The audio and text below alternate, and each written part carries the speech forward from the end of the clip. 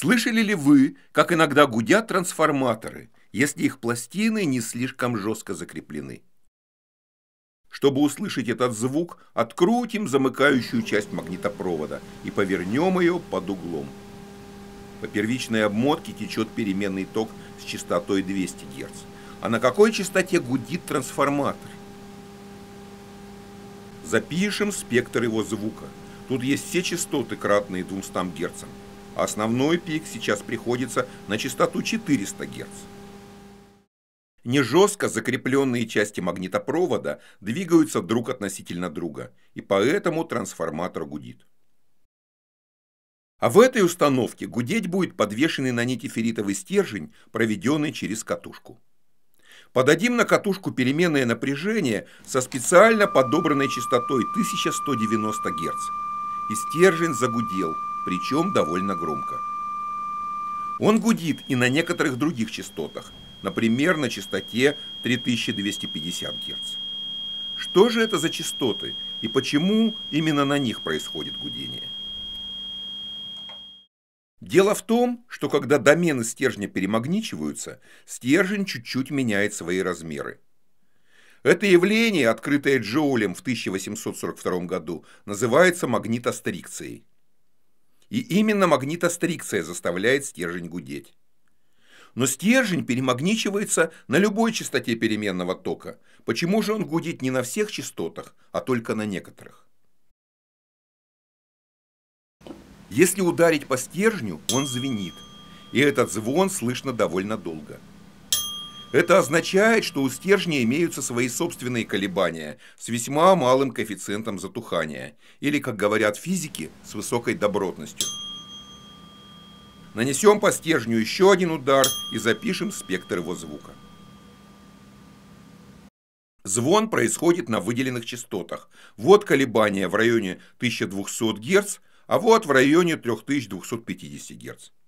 Именно на этих частотах мы и подавали переменное напряжение на катушку.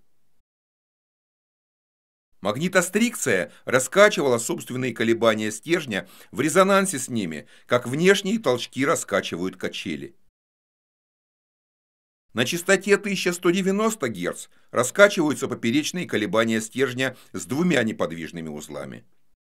На частоте 3250 Гц происходит раскачка собственных колебаний с тремя узлами. Поперечным колебаниям с четырьмя узлами соответствует частота 6270 Гц, а с пятью узлами частота 10170 Гц. Эти колебания нам тоже удавалось накачать за счет магнитострикции, правда звук при этом получался весьма слабым. Посмотрим, как происходит раскачка колебаний стержня вблизи резонансной частоты. Подадим на катушку переменное напряжение с частотой 3248 Гц. Сначала громкость звука растет довольно медленно, ведь колебания с большой добротностью не так просто раскачать. Но через какое-то время громкость нарастает очень резко, а затем колебания выходят на насыщение, когда подводимая энергия сравнивается с потерями. И это еще не все, что нам удалось наблюдать. Если прогнать катушку по частотам от 0 до 1300 Гц, мы получим вот такую кривую отклика. Вот знакомые нам колебания на частоте 1190 Гц. А что за линии в этом спектре мы видим еще? Оказывается, поперечные колебания стержня можно также возбудить на частотах, составляющих одну вторую, одну четвертую, одну шестую, одну восьмую и так далее от основного тона – Правда, эти колебания будут совсем не такими громкими. Но почему мы не наблюдали продольных колебаний, когда стержень делается то длиннее, то короче? Длина нашего стерженька составляет 20 сантиметров. Скорость распространения звука в феррите что-то около 5,5 км в секунду. Вы можете сами оценить, на какой наименьшей частоте будут происходить продольные колебания стержня и написать об этом в комментариях к нашему ролику на YouTube.